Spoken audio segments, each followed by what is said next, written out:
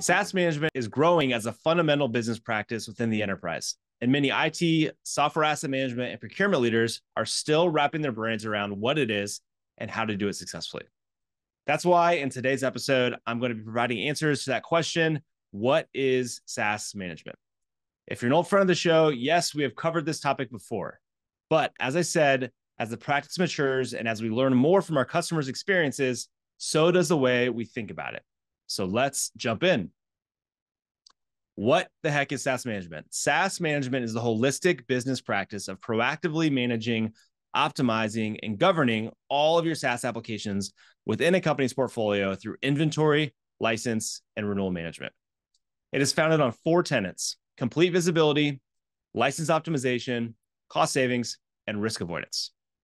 There's not just one team who owns this business practice. In fact, it requires cross collaboration between IT, software asset management, and procurement teams, typically with executive sponsorship from either your CIO or CFO. Now that we're clear on the definition, let's look at the problems that it solves. First, it helps you eliminate your blind spots. With decentralized purchasing, IT, SAM, and procurement teams no longer have the full picture of their tech stack.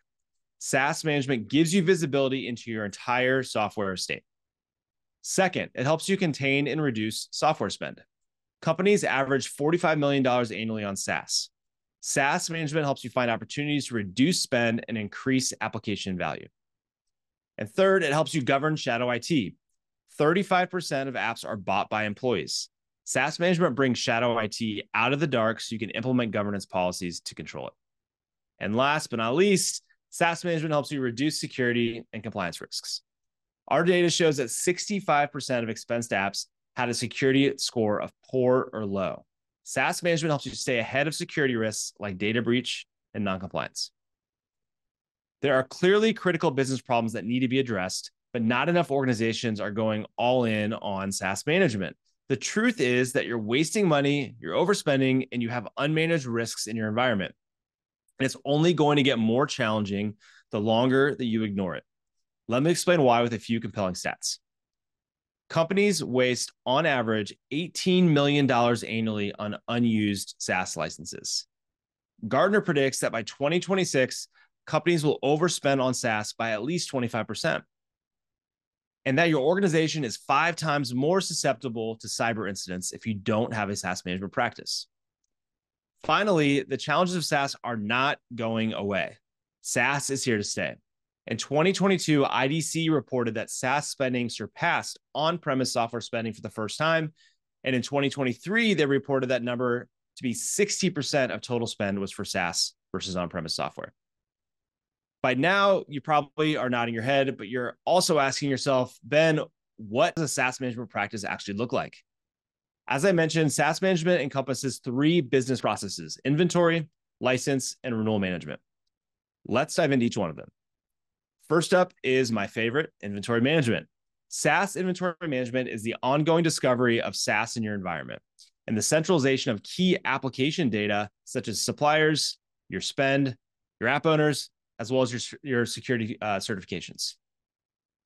By having this, this enables you to implement effective SaaS governance, which ultimately helps you control and prevent unsanctioned spending and stay ahead of security and compliance risks. To be successful at license and renewal management, you must establish a complete and ongoing inventory of your SaaS applications. As we often say at Zylo, you can't manage what you can't see. Next up is license management. SaaS license management oversees the full lifecycle of a software license from onboarding to offboarding. It enables you to maximize software adoption, avoid unnecessary costs, and drive efficiencies across your tech stack. License management is really important for SaaS because there is just a ton of waste out there. As I mentioned earlier, companies waste $18 million a year on average due to unused licenses. That equates to 51% of licenses sitting unused. So there's a huge opportunity to monitor and optimize your SaaS licensing. And then lastly, here's renewal management. SaaS renewal management is the process of renewing a software contract from the strategy and preparation to the negotiation and the acceptance. Well, let's face it, at the end of the day, no one wants to miss a renewal or get stuck in an auto renewal situation. Successful renewal management starts with visibility into things like what apps you have, what you're spending on them, your license needs, your contract terms, and your renewal dates.